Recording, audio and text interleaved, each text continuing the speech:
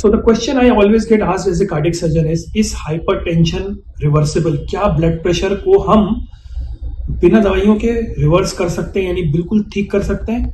और in one word the answer is no what is hypertension पहले इसको समझना ज़रूरी है। देखिए पहले हमारी जो आर्टरीज होती हैं जो ब्लड सप्लाई करती है वो इस तरह की होती है। यानी कि जो गार्डन पाइप जिससे हम पानी देते हैं इस तरह की जो फ्लेक्सिबल होती है। Age age passes by with age plus risk factors in number of other individuals जैसे कि आपकी family history diabetes hypertension smoking etcetera etcetera की वजह से ये थिक हो जाता है, इस तरह की हो जाता है। एज रिलेटेड भी होता है।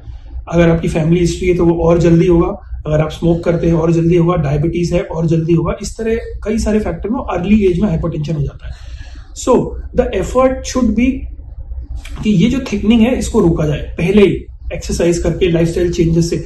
But once the blood pressure has been diagnose जो कि 140 forty by ninety less than that is normal according to age but अगर उसके ऊपर है तो आपको ट्रीटमेंट करना ही पड़ेगा।